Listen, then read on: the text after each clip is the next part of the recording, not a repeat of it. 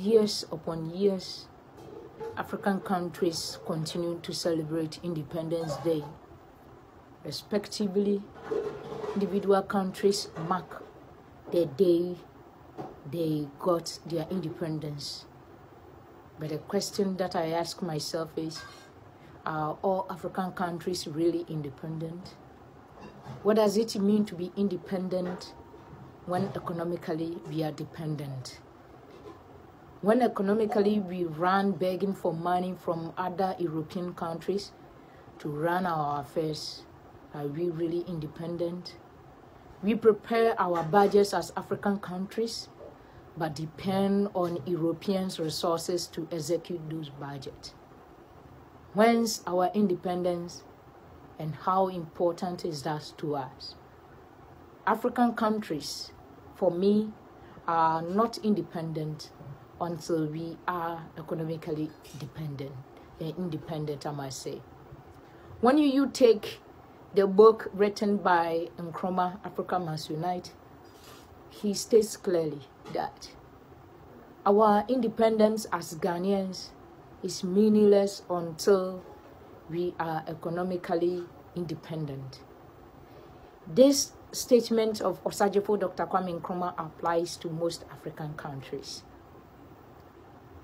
We are independent in terms of even ruling. However, this I even doubt that we are economically and even in terms of leadership, we are independent.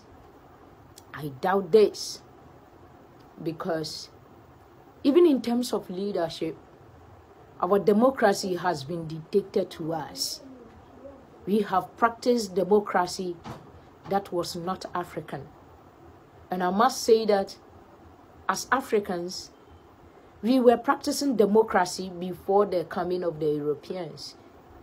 In our traditional settings, democracy was at play. However, we bought into the idea of this Western democracy, which today has caused us much. Are we really independent? If not, let's fight for our independence on the second day. Second time, you must fight for our independence.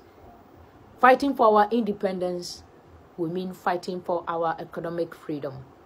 And fighting for our economic freedom will mean we making good use of the knowledge, the skills available, sitting down in the minds and hearts of African youths making good use of them.